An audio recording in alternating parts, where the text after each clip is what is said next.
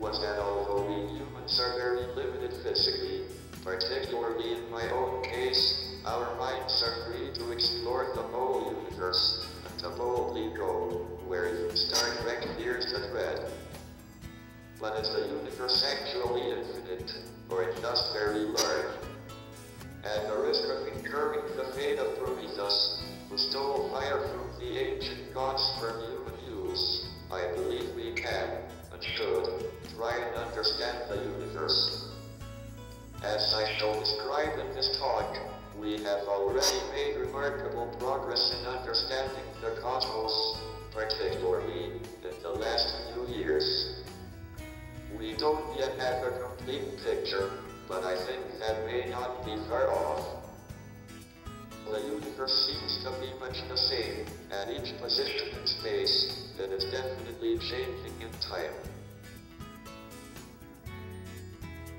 If stars had been radiating for an infinite time, they would have heated up the universe at their temperature. If at night, the whole sky would be as bright as the sun, because every line of sight would have ended either on a star or a cloud of dust that had been heated up until it was as hot as the stars. So the observation that you have all made, that the sky at night is dark, is very important.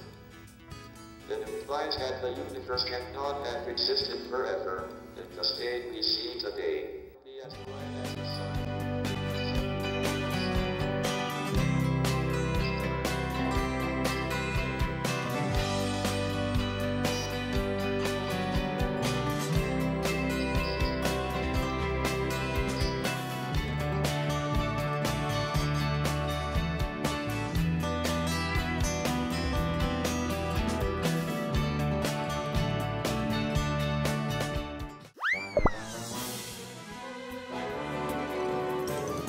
Bye.